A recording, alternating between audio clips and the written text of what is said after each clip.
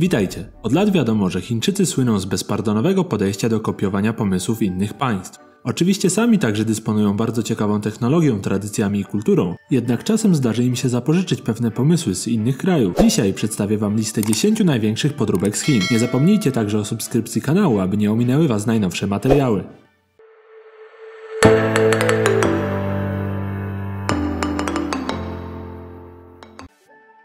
10. Sfinks w Huzhou. Na pewno kojarzycie egipskiego Sfinksa, gdyż jest on nieomal symbolem tego kraju, jak i samych wycieczek w rejony Kairu. Chińczycy najwidoczniej wyszli z założenia, że odległość dzieląca ich od tego pięknego monumentu jest zbyt duża, dlatego postanowili odtworzyć go u siebie. Jest on wybudowany w skali 1 do 1, jednak nieco odbiega od antycznego oryginału. W miejscu tym urzędnicy planują postawić Park Światowego Dziedzictwa Kultury i Sfinks jest jednym z pierwszych obiektów. 9. Krzywa wieża w Szanghaju. Myśląc o zabytkach Włoch, jednym z pierwszych skojarzeń jest krzywa wieża w Pizie, która jest rozpoznawalna na całym świecie. Nasi przyjaciele z Dalekiego Wschodu postanowili zapożyczyć pomysł także do siebie i odzorować tą wieżę na przedmieściach Szanghaju. Nie postawili oni jednak na setki lat zapadania się fundamentu, a od razu wybudowali krzywą wieżę i umocnili ją stalowymi linami.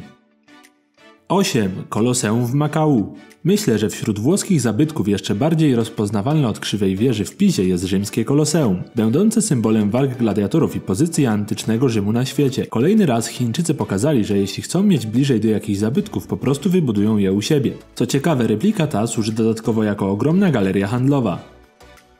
7. Holandia w Szanghaju. Już kolejny raz na naszej liście znajduje się Szanghaj, który postanowił odtworzyć wewnątrz swojego miasta typowe holenderskie miasteczko. Chyba przyznacie, że te typowe holenderskie budynki z chińskimi napisami wyglądają nieco dziwnie. Zdradzę wam, że Szanghaj jeszcze nie raz znajdzie się na tej liście. Jego mieszkańcy upodobali sobie chyba czerpanie inspiracji z innych stron świata. Odtworzone zostały także słynne już wiatraki, a nawet postawiony został posąg drewnianych chodaków. 6. Manhattan w Tianjin. Marzeniem chińskich inwestorów było, aby kiedyś Tianjin stał się światowym centrum finansowym i był najważniejszym ośrodkiem handlu na świecie. Podążając za tą myślą, postanowili oni odtworzyć Manhattan, aby przybywający z całego świata finansjerzy nie czuli większej różnicy. Projekt miał być skończony w 2019 roku, jednak nie wszystko poszło zgodnie z planem. Wiele projektów pozostało nieukończonych i stał się on miastem duchów. 5. Dziki Zachód w okolicach Pekinu. Myślicie, że Chińczycy inspirują się w głównej mierze kulturą Europy? Nic bardziej mylnego. Pekin tym razem postanowił odtworzyć nieopodal swoich granic miasteczko rodem wyjęte z westernu. Nie wiem, czy kultura Dzikiego Zachodu aż takich zaciekawiła, czy po prostu po raz kolejny postanowili zrobić na tym niezły biznes. Bo w centrum miasteczka Jackson Hall, inspirowanego lokacją o tej samej nazwie, znajduje się duże centrum handlowe. 4. Wenecja w Dalian. Tym razem Dalian, które postanowiło odwzorować jedno z najbardziej romantycznych miast świata, czyli Wenecję. Ponad 4 km kanałów, gondolierzy i 200 budynków wybudowanych w weneckim stylu. Podobno podczas budowy Chińczyków wspierali francuscy architekci. Ja jednak patrząc na skalę i ilość tych replik w całym ich kraju, myślę, że doskonale poradzili sobie sami. 3. Londyn obok Szanghaju.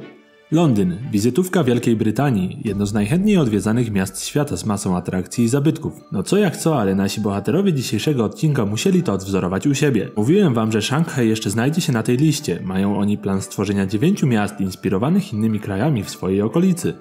Town, bo tak nazywa się ta replika, jest tak angielska, że aż posiada pomnik Harry'ego Pottera i Churchilla. 2. Paryż w Hangzhou. Miasto miłości, tolerancji, piękna i romantyzmu. I to wszystko w samym centrum Chin. Miasto to nie odniosło jednak sukcesu, gdyż nikt nie chce w nim mieszkać, a Chińczycy po prostu wolą lecieć do Europy, więc jest to kolejne miasto widmo na naszej liście. Możliwe, że przyczyną tego była nieco mniejsza od oryginału wieża Eiffla, a może jednak to fakt, że miasteczko znajduje się pośrodku niczego i w zasadzie wszędzie jest daleko? Niezależnie od powodu jednak, europejski oryginał okazał się o wiele lepszy od chińskiej podróbki. 1. Austriackie Hallstatt w Huizhou Malownicze domki, urokliwe uliczki, piękne jeziora i mało miasteczkowy klimat. Piękna wizja, prawda? Chińczycy najwidoczniej wyszli z tego samego założenia, gdyż postanowili odwzorować sobie to właśnie miasteczko. W centrum odzorowane są charakterystyczne domki, a nawet kościół, a sami Austriacy przyjechali na uroczystą inaugurację. Najbardziej zadowolone z faktu istnienia tej repliki są chińskie młode pary, które bardzo chętnie przyjeżdżają tutaj na sesje ślubne. Nie wiem jak wy, ale ja czuję się zazdrosny, że nasi dalekowschodni przyjaciele jeszcze nie odwzorowali Krakowa lub Warszawy, które tak licznie odwiedzają. Myślicie, że odbiłoby się to na turystyce? Czy tak jak w przypadku chińskiego Paryża polski odpowiednik by wygrał? Dajcie znać jakie macie co do tego stosunki, a ja zapraszam was do zostawienia łapki w górę pod tym materiałem. Trzymajcie się, cześć!